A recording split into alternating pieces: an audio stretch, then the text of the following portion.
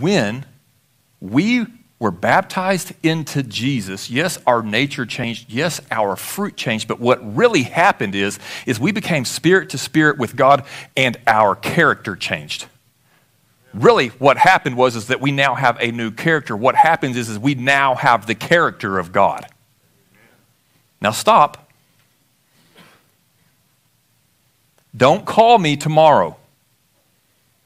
If you call up here, you call for Pastor Victor. And you can call Pastor Victor and you say, Well, Pastor Joe stood up on the platform and said, I'm God, that we're gods now. I didn't say that.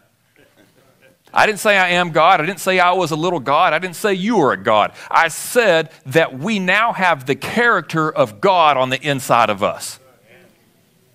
How can I say that? Because that's what Scripture says.